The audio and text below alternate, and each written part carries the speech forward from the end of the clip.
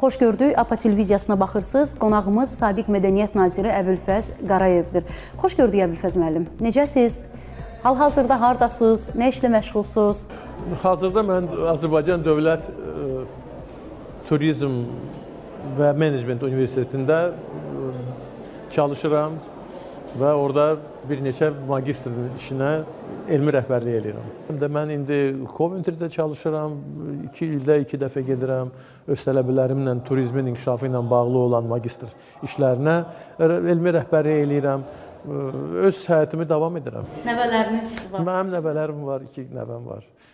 Onlarla elə bu gün də dünən də. O düz ifadədir. Nəvə evladdan da şirin olur. Yox.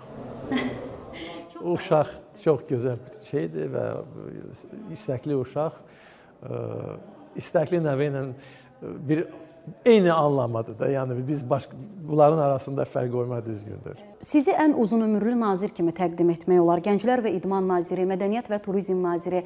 Ümumiyyətlə bu 25 il ərzində hansı ad sizin üçün daha doğma və əziz oldu və necə oldu ki, uzunmüddətli nazir postunda qala bildiniz? Ümumiyyətlə uzunmüddətli nazir olmağın iksiri nədir? Bu yəqin ki, ə, hər bir ə, dövrün özünə məxsus bir marağı, həyəcanı, müəyyən bir ə, necə deyim, ə, bir mövcud mühiti var idi və sözsüz ki, hər bir ə, hər bir nazirliyinin işində mən düşünürəm ki, özünə məxsus çox gözəl anları da olub. İlk Gənclər və İdman Nazirliyi olarkən mən o vaxtın ə, yəni müstəqil Azərbaycanın yeni yeni əmələ gələn bir ə, dövlətçilik və yəni müəyyən bir mühit formalaşırdı. O vaxtı Ulu Öndər Heydər Əliyevin dəvəti ilə mən bu işə gətirildim və fəxr edirəm ki, uzun illər mən Heydər Əliyevin rəhbərliyi altında bilavasitə çalışırdım. Sonradan sözsüz ki, bugün cənab prezidentin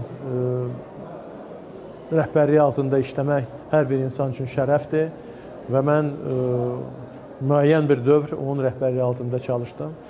Hesab edirəm ki, mənim həyatım kifayət qədər maraqlı keçib. Hazırda Azərbaycan mədəniyyət sahəsindəki inkişaf strategiyası sizi qane edirmi? Yəni ümumiyyətlə nazirliyin özünüzdən sonrakı e, fəaliyyətini necə qiymətləndirirsiniz sabiq nazir olaraq? Bilirsiniz, Azərbaycanın durumu dəyişilib. İş orasındadır ki, e, biz bu günləri tamamilə yeni bir Azərbaycanda yaşayırıq. Son illərdə cənab prezidentin rəhbərliyi altında əldə olunmuş bizim qələbəmiz Azərbaycanın ümumi yəni həm xalqımızın dünya görüşünü, həm cəmiyyətin baxışlarını, tələblərini tamamilə fərqli bir məqamdan təqdim etdi. Hesab edirəm ki, hər bir dövrün özünə məxsus bir xüsusiyyətləri var və indiki dövrdə biz yaşadığımız bir ölkənin tamamilə yeni imici var və o imicə uyğun sözsüz ki, onun mədəniyyəti də, idmanı da, digər sahələri də inkişaf etməlidir. Bu bu təbiidir. Çünki qələbə insanların daxilində müəyyən bir böyük bir ruh yüksəkliyi oyatdı və mən düşünürəm ki, bundan sonra daha çox ə, Azərbaycanın yeni mühitə uyğunlaşmaq üçün yeni layihələr, yeni proqramlar olmalıdır. Səhv etmirəmsə 37 yaşında nazir postuna gələnmisiniz. Yəni nazir olmusunuz və kifayət qədər gənc nazirsiniz. Bu necə baş verdi və e, hamı sizi tanıyır, kimisi öz probleminə görə sizə yaxınlaşmaq istəyir, kimisi şəkil çəkdirmək üçün və s. Heç oldumu ki, ürəyinizdən keçdi ki, kəş ki sadə bir insan olaydım, yəni nazir olmazdım? Mən indi sadə adam kimi dolaşıram da, gəzirəm də, insanlarla da görüşürəm və heç burada mən çətinlik görmürəm. 37 yaşında sözsüz ki, nazir vəzifəsinə təyin olmaq kifayət qədər böyük məsuliyyət idi. Lakin o vaxtı Azərbaycanda yeni formalaşan gənclər hərəkəti var idi.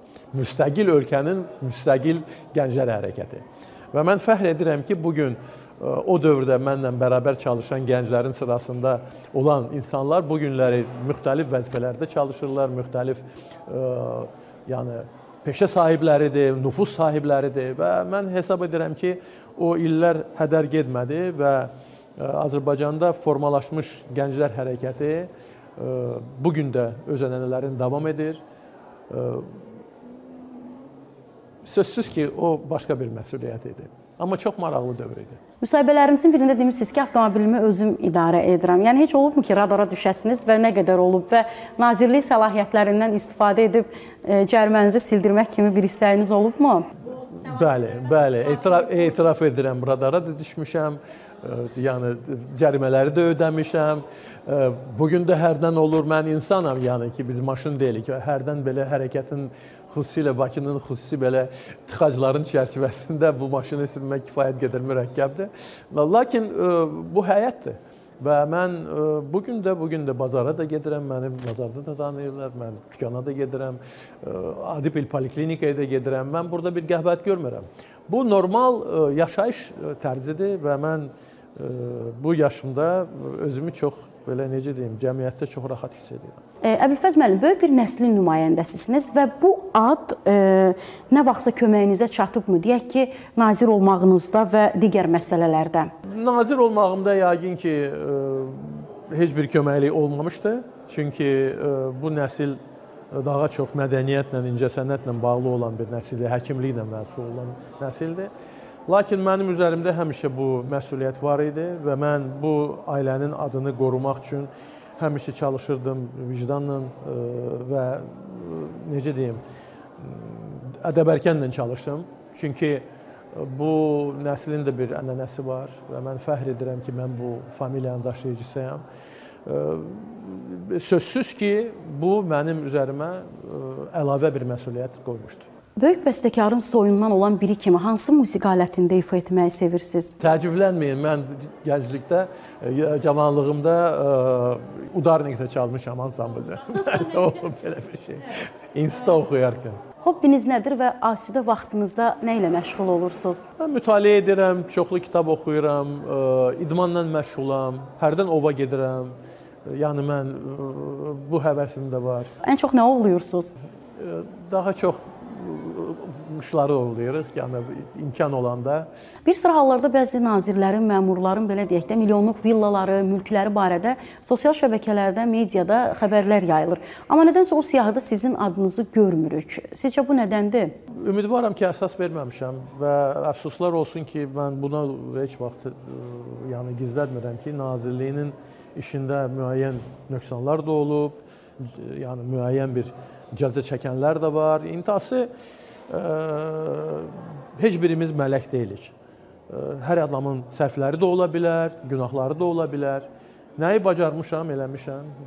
Nəyi yəni mənim əlimdə olan səlahiyyətlərin çərçivəsində hansı ölkə üçün, xalqımız üçün lazım olan işləri görə bildim, görə bildim. Nəyi görə bilmədimsə, yəni o artıq geridə qalıb. 44 günlük vətən müharibəsində Azərbaycan ordusunun qazandığı qələbə eyni zamanda bu ilin sentyabrında 23 saatlıq antiterror əməliyyatları və Qalib Azərbaycanın sabiq naziri. Nə demək istəyərdiniz?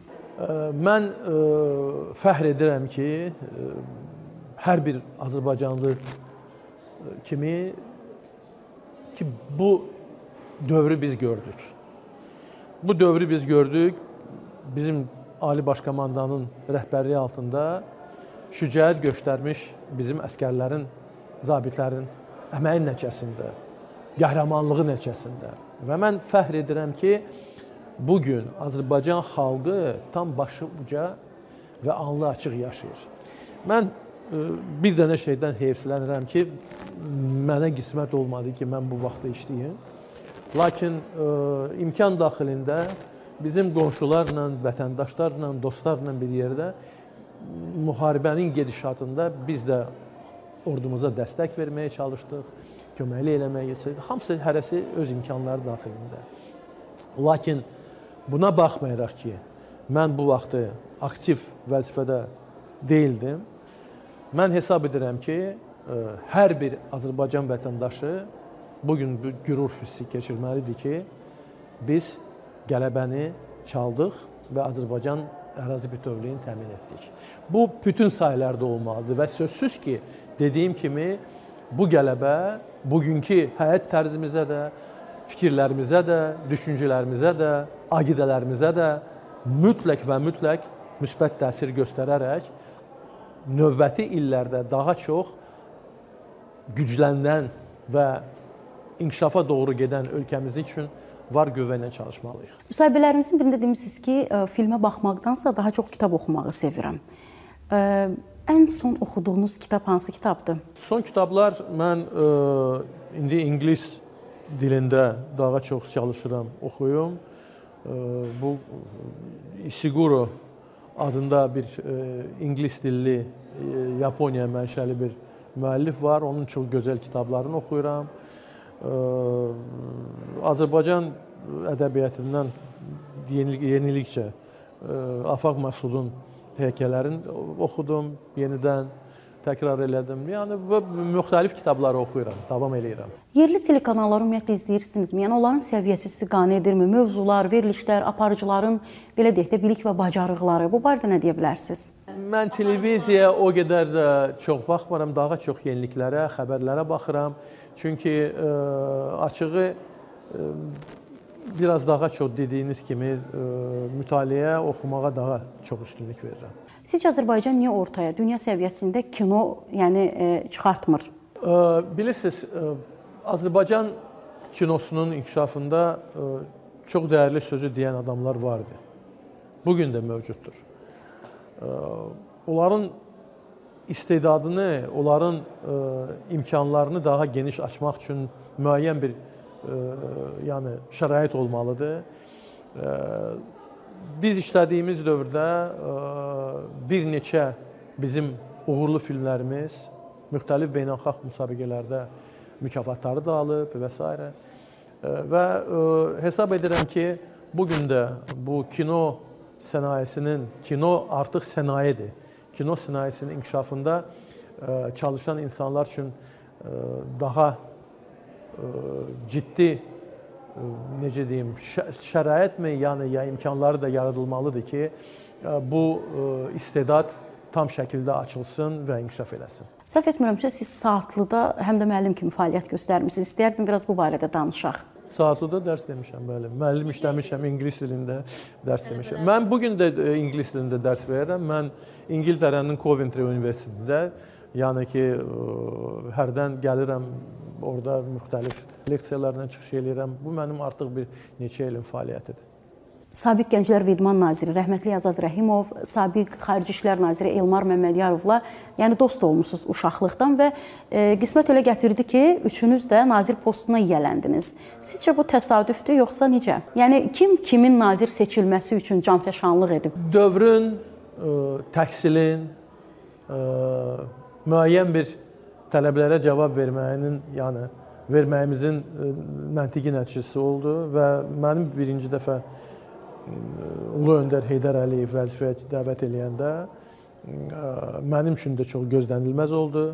Lakin o ailənin də köklərini bilirdi və mənim müəyyən bir əldə etmiş təcrübə, təcrübəmdə də xəbərdar idi. Mən Rusiyada İctimai Elmlər Akademiyasında namizədlik dissertasiyamı müdafiə eləmişəm və kifayət qədər təcrübəmi əldə etdiyimi, yəni nəzərə alaraq o bunu təklif elədi. Kollektiviniz neçə nəfərdən ibarət idi? 60 min adam çalışırdı o sayədə.